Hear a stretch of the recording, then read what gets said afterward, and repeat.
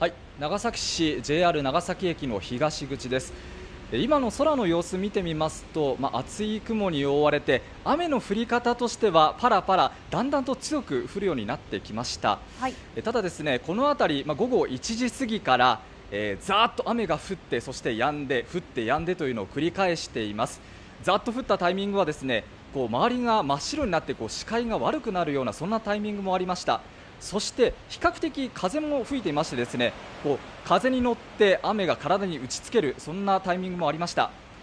えー長崎駅を行き交う人々を見ますと今皆さんも傘を差して移動している様子が見られます。まあそれほど足早に動くという様子は見られません。あ今また一段と雨が強くなってきました。この雨音聞こえますでしょうか、えー。はい。はい、そしてですね、えーこちらバス停もありましてこちら、まあ、バスを待っている人たちがいるんですが今はそれほど混雑した様子は見られません。先ほどバスを待っていた女性に話を聞きました、えー、と女性の方だったんですけども、まあ、今日は雨が心配なので1時間いつもより早く仕事を切り上げて今から帰りますという話でした。そしてですねあの傘を2本持っている男性がいたので話を聞いたんですけども、はい。ちょうど傘が壊れてしまったので慌てて買いましたと、まあ、そういう方もいらっしゃいました。はいそして今、こちら長崎駅東口ではあアミュプラザ長崎新館の工事が進められています。はい建物の周りにはですね今まだ作業員の方いらっしゃるんですけれどもこの建物とですね屋根付きの歩道のちょうど間東口の正面のあたりあの辺り今歩道の工事をしているんですよね。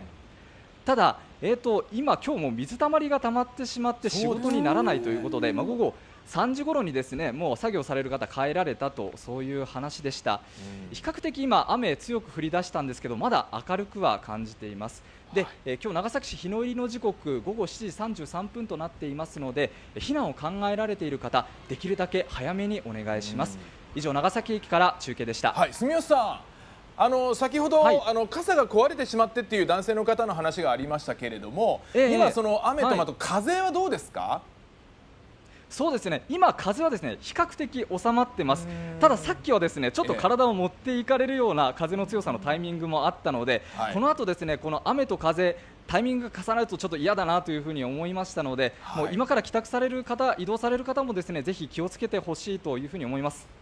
はい、住吉さん、ありがとうございました。気をつけて取材してください。